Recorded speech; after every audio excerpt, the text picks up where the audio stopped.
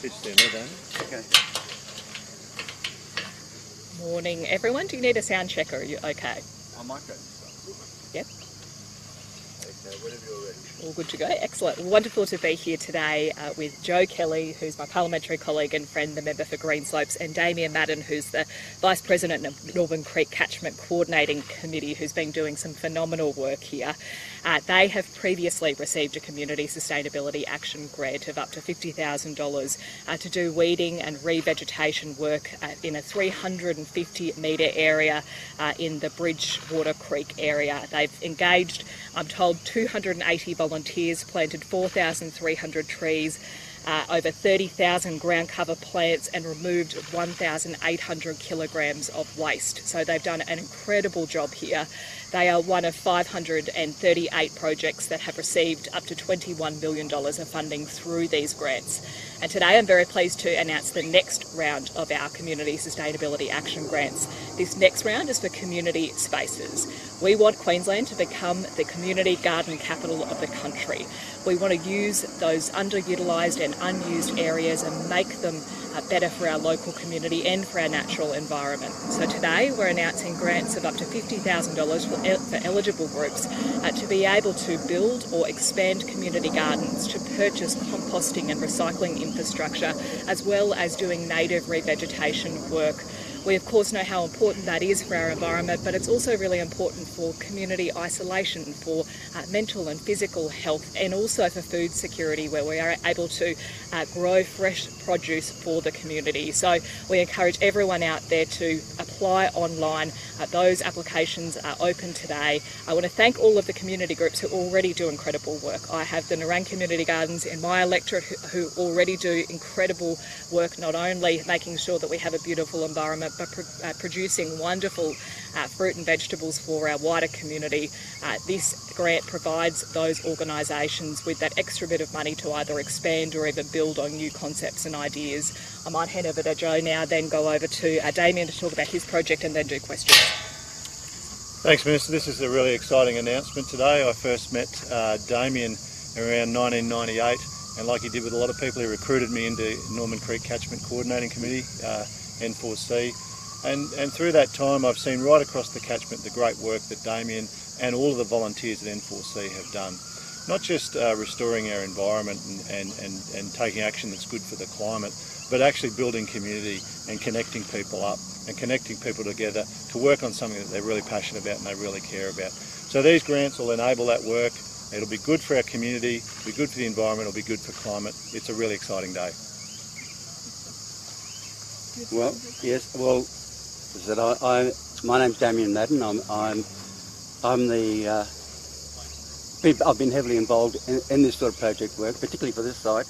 I've been here for over 50 years. What you see here, I can show you. There was nothing here uh, about the 1980s. But uh, uh, I'd like to actually thank the, the Department of Environment and Science, DES, for what they've done and the grant that they've given us to be able to extend one of my passions of, the N4C is is repairing of our waterways, clearing it up, and we've been involved in this um, basically uh, since the N4C was formed.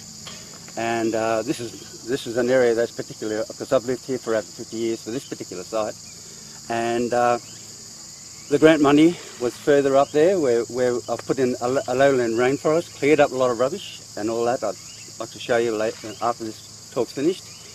But uh, the N4C also, uh, as I said, we're very thankful for the grant money that's been provided for us, and also community, farms. All those are in the Norman Creek catchment, particularly this area we're part of what the future Olympics will be. And of course, we as a group would like to be involved with the department in getting the best interest going for the community as well as for the world. And of course, uh, what you see here is what a group like us, working with the department and council, can achieve. Um, uh, and I'll leave it at that. Okay. Any questions for Damien before I take questions? David, how, I guess, important is it for these types of grants for the community as a whole? Well, well, it wouldn't get done. What uh, I can show you photos with no, no vegetation at all. It's it's the community involved with the, with with the department and council that actually achieve what uh, all the all the quite significant areas around, particularly our waterways, and that's where I'm coming from. where the N4C is coming from. They were once very degraded. We're in an urbanised area. This is a, a Norman Creek catchment. It's got over 100,000 people in that area, 30 square kilometres. And of course, going back to the 1980s, there was no official policy. It was, it was degraded and, and, and there was this unofficial um, uh, thought, maybe, uh, uh, from powers to be, that the whole area is degraded and nothing much we can do about it. We've actually changed that and it's getting better. And of course, as I said before, I can't stress highly, highly enough, the N4C want also to be involved with the, with the state government, the department, and we've got we've got the very the grant money and all that. Uh, that type of grant money, uh, we've got groups that can really take advantage of it within this area, and of course uh, from community farms to what I've been doing along our waterways, rehabilitating it, putting a lowland rainforest eventually. And um, what more can I say? Finished? Perfect. Yeah, thank you. I, I, can ramble on a bit. no, no, I was no, trying to avoid it's all it. good. now I'm going to take some other questions Yes, probably. so thanks, Damien. Any other questions? Yeah, Minister, just on youth crime, there's a report in the Courier-Mail today about a 15-year-old boy, um, you know, charged with 80 offences, but not being, not one conviction recorded. What's your response to that? Obviously, uh, in relation to individual cases, I you know need to be very careful with any comments that I make. What I will say though is I absolutely appreciate that the community wants justice. That is why in December the Premier announced a whole range of reforms. Uh, those include legislative reform, but a whole range of other measures, including trials of engine immobilisers, a fast tracking sentencing team, uh, measures that will make a real and meaningful impact to make sure uh, that perpetrators are held to account. Now, uh, one thing that I should also say is that, of course, we know that the majority of the time uh, when young people who have offended come into contact with authorities, 80% of them never re-offend again. But those who do reoffend should see the consequence. That is what these new reforms are targeted at. And as I said, uh, a number of them are already being rolled out right now. Can you, explain, can you explain how lifting the maximum penalty is actually going to see people uh, juveniles locked up for longer? Uh, I think you know one of these measures alone won't solve the problem. We need multiple measures, and that's why we announced a whole suite of reforms.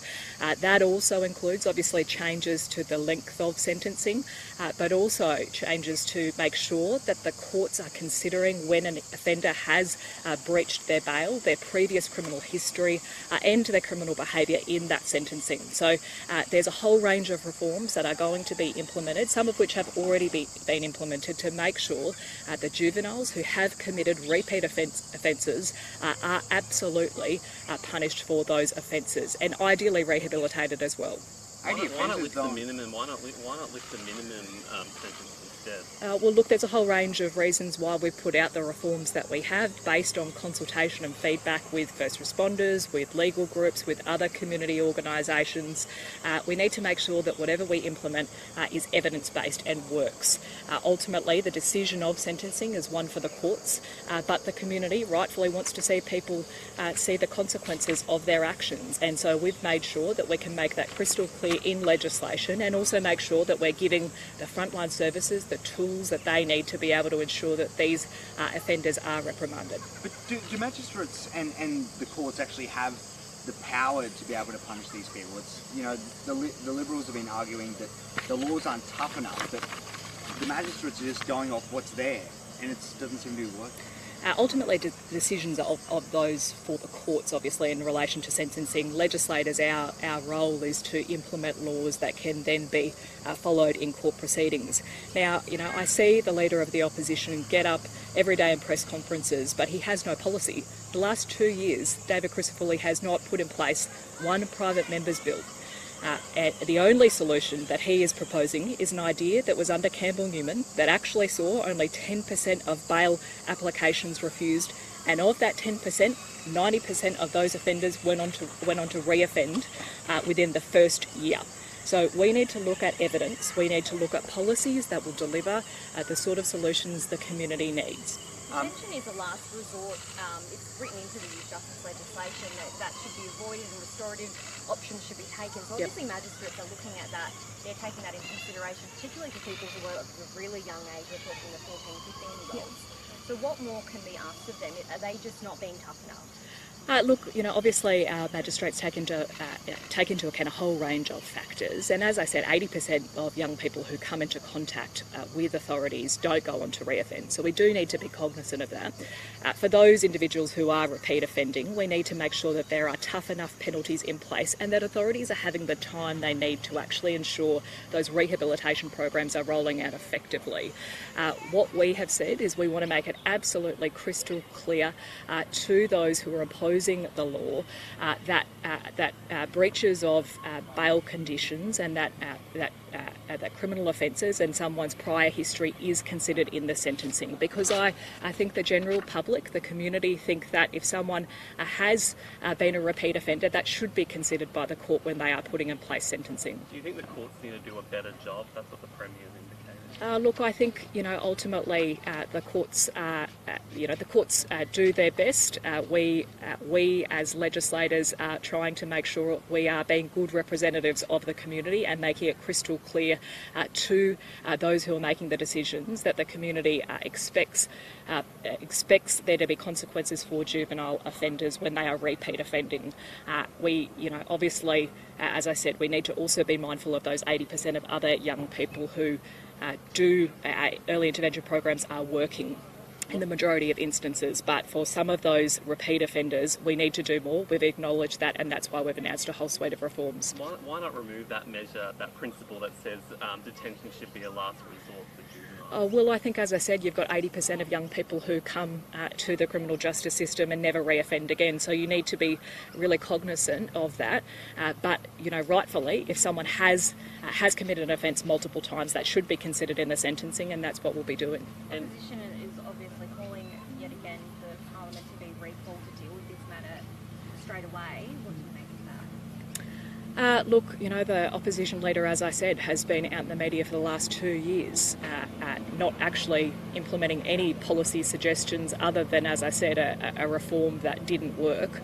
Um, we'll always take on board any good suggestions from anyone in the community. Um, but, you know, when it comes to some of the measures that we've announced, and, and I'll list a couple of them off, when it comes to the announcement we made in uh, December, the extreme high vis police patrols are already underway and funded. Uh, the nearly $10 million for fast tracking sentencing program is funded, and the Department of Justice and Attorney General are working through that recruitment process right now. Uh, the engine immobiliser trial for 20,000 vehicles uh, is funded, and State Development and QRider are working through that program redesign right now. Uh, and we've already appointed, uh, of course, the Youth Justice the Youth Crime Task Force Commander. So there's a whole range of measures that are already being implemented. Uh, in terms of the legislative reforms, we are doing consultation right now and we intend to introduce those reforms as soon as possible. How do, how do those engine immobilisers actually work? Um, That's Yeah, can you explain how that program works? Yeah, so that's the detail that Q Rider and uh, State Development are working on. How we'll make sure uh, that those uh, that those are trialled effectively in 20,000 vehicles. We obviously know that there's other jurisdictions that have looked at these engine immobilisers. We want to look at that and make sure that we roll it out effectively. So, Jack, I'm sure we'll be able to provide you with information as soon as we have more about that program design. A parliamentary committee that's made up of the majority of government MPs actually recommended against introducing engine immobilisers. Why? Why does the government think they're now a good idea? Uh, we need to continue to adapt and look at new measures uh, and trial uh, trial some of these new measures to see if they are effective. You know, this is a really complex problem. Uh, I don't think anyone has one single solution that will resolve this issue.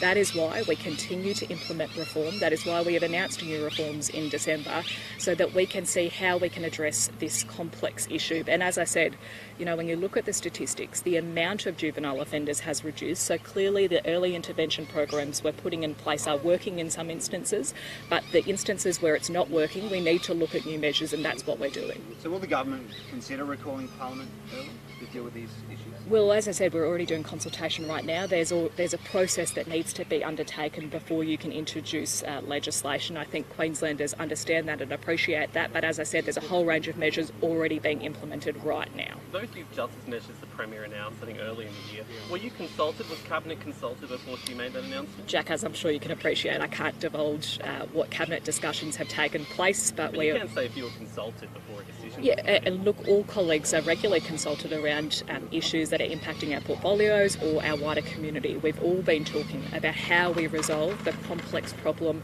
um, of repeat offending, whether that be for ju- juveniles or adults. And so, uh, you know, this is a conversation all of our colleagues continue to have. We've put forward suggestions, those are considered. I feel really lucky to be in a cabinet where everyone is uh, genuinely incredibly cooperative, where we talk about what solutions might be able to be implemented, we try new things and see what the evidence says. Quick change of tack. Um, there's a bit of um, wild weather up in the north at the minute. There's obviously warnings out for, for people across this weekend. Yep. What's the message to Yeah, we're obviously keeping a close eye on the weather in North Queensland. Uh, the acting premier was briefed by emergency services yesterday. Uh, the local disaster management uh, committees are working closely with emergency services and the Weather Bureau. Uh, obviously, to anyone who's living in far North Queensland, we encourage you to keep uh, keep listening to authorities for any changes that might occur. Uh, and remember, if it's flooded, forget it. Anything else? Good, thank you.